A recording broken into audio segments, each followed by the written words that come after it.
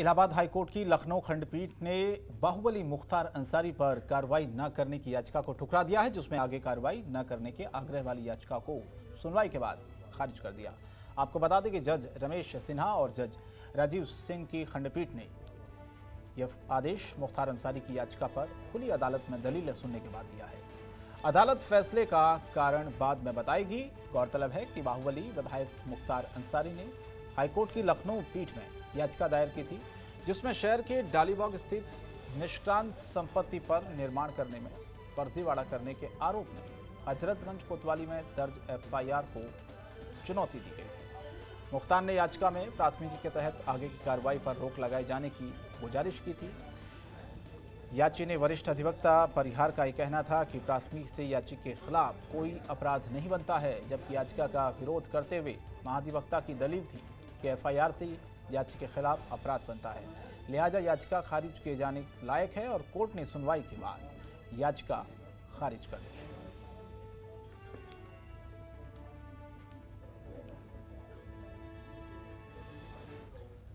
और लखनऊ में ग्राम विकास मंत्री राजेंद्र प्रताप सिंह ने एक प्रेस कॉन्फ्रेंस की और प्रधानमंत्री आवास योजना के तहत बेघर परिवारों को 2022 तक घर देने का लक्ष्य बताया। उन्होंने कहा कि भारत सरकार ने यूपी को चौदह दशमलव छः एक लाख आवास निर्माण का लक्ष्य दिया है, जिसके तहत अब तक चौदह दशमलव तीन चार लाख आवास पूरे हो चुके हैं और बाकी का निर्माण कार्य चल रहा है। वहीं सिख सर्वेक्षण 2011 में छूटे उनचास दशमलव पाँच चार लाख परिवारों का विवरण आवास प्लस पर अपलोड भी है। ग्रामीण विकास विभाग ने अपनी तरफ़ से चार साल की उपलब्धियाँ गिनाई हैं और चार साल में क्या उपलब्धियाँ रही हैं, यह हम जानेंगे। ग्रामीण विकास मंत्री हमारे साथ हैं।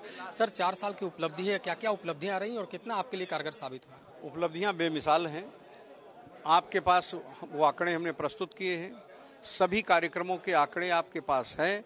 एस जो हमारा ट्रेनिंग इंस्टीट्यूट है, उसके कुछ आंकड़े हम आपको बता देते हैं। हमने जो काम किया है उन आंकड़ों को देख लीजिए और पिछली सरकारों ने, विपक्ष की सरकारों ने जो काम किया है, दोनों का अंतर मैं तो मानता हूँ एक और सौ का है। और हमने जो काम किया है वो ज़मीन पर है, जनता की निगाहों पर है, जनता के विश्वास का है, योगी जी के नेतृत्व को उसका श्रेय जाता है, मोदी जी की सोच को जाता है। और उत्तर प्रदेश के उपचुनाव ने उस पर मोहर लगाई है। हमने चार साल में बेमिसाल काम किया है सभी क्षेत्रों में। चाहे वो मनरेगा का हो, चाहे प्रधानमंत्री आवास का हो, मुख्यमंत्री आवास का हो, रूबर्न का हो अपने दीनदयाल प्रशिक्षण संस्थान का हो, कोई काम ऐसा नहीं है कि जो हमने बेहतर नहीं किया।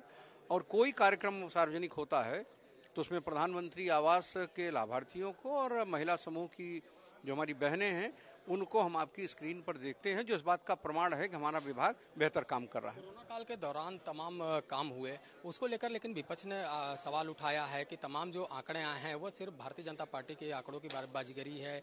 उस आंकड़ों में कोई दम नहीं है और विधानसभा का जब सत्र चलेगा तो उसमें कहीं ना कहीं इन मुद्दों को उठाएँगे वो। विपक्ष की बात पर अगर जनता को विश्वास रहा होता तो उपचुनाव में उनको बताती विपक्ष की बात से जनता नाराज़ होती है क्योंकि जनता की जो सेवा हो रही है, उसके खिलाफ वो जब बोलते हैं तो उन गरीब के मन में आक्रोश होता है। आज दीनदयाल उपाध्याय की जो अंत्योदय की परिभाषा है, हमने उस पर काम किया है, समानता में को हमने मज़बूत किया है, और जो अंतिम पायदान पर था, उसे हमने सबसे ऊपर के पायदान पर विकास की दृष्टि से पहुँचाया है। इसलिए विपक्ष की बात में कोई दम नहीं है। विपक्ष का काम है बोलना तो बोलते रहे, मैं क्या करूँ?